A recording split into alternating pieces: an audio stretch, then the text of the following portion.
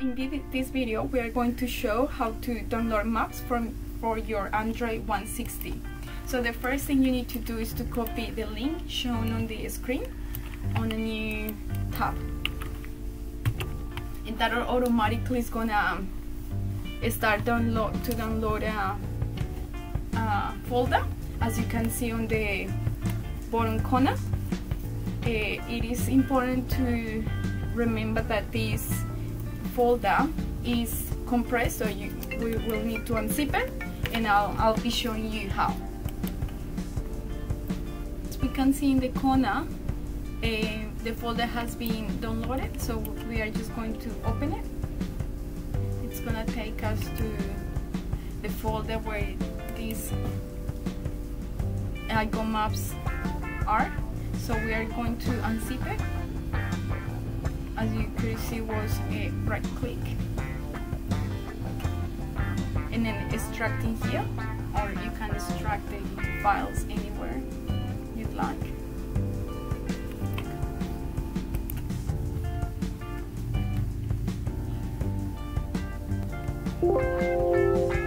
Okay now we are going to copy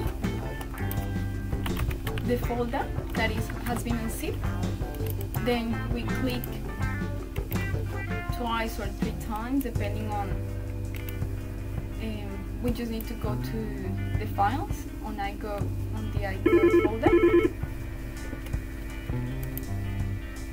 And then with our USB drive we're going to copy that folder uh, into the drive. We need room for it also ideal if there wasn't any other files not to get confused.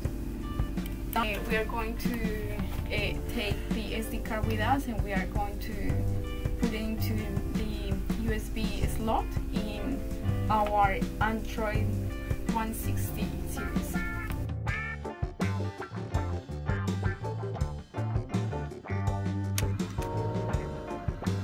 Now, after downloading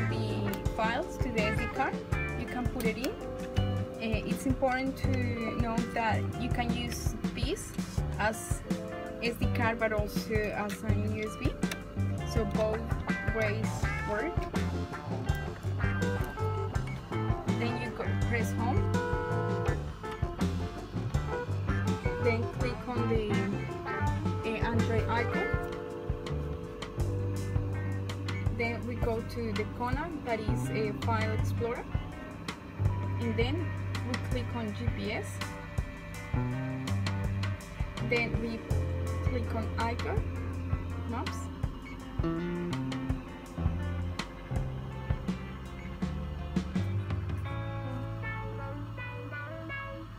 Then copy.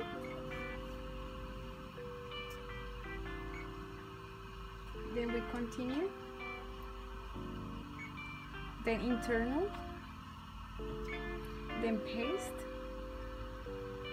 uh, we are going to overwrite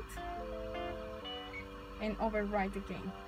And we are just gonna wait for a few seconds to finish